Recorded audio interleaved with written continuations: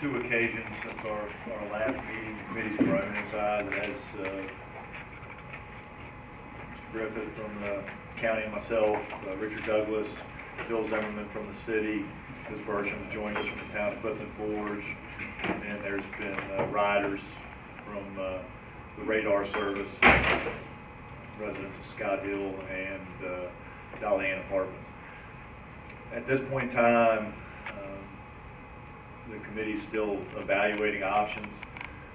To move forward, we are going to be scheduling a public hearing. Uh, Radar has uh, indicated the- a willingness to increase rates for uh, ridership. Uh, Current rate's 50 cents, they're going to propose an increase to $1. And then they are also considering uh, reduction in, in hours of service.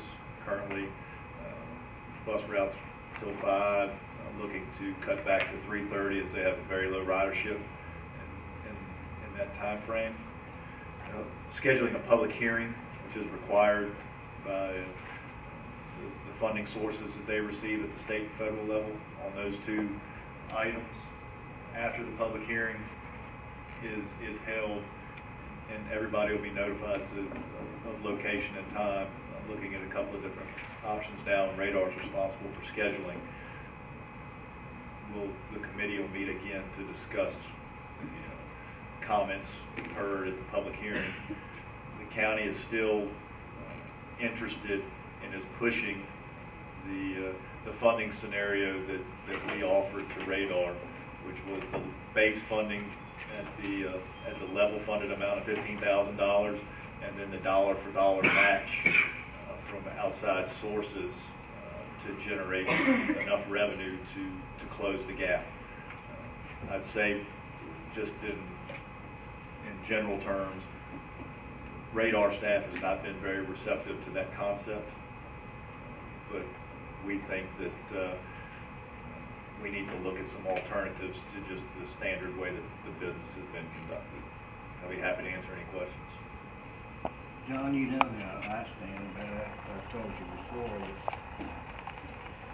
that, I, I still believe all three jurisdictions will participate in funding the radar bus. I had more calls about this radar bus than the time, ever since I've been on this board, I've had more calls about the radar bus than I have anything else.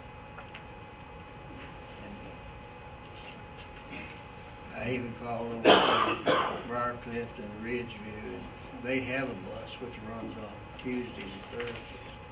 And I asked them, did they maybe, in the future, could they maybe use the bus another day or so? And she said that they thought they might be able to come up with something about running the bus another day.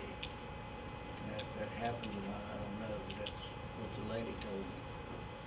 I still think that Clifton Forge should pay their fair share, considering that the percentage of the people come from the Briarcliff and Ridgeview.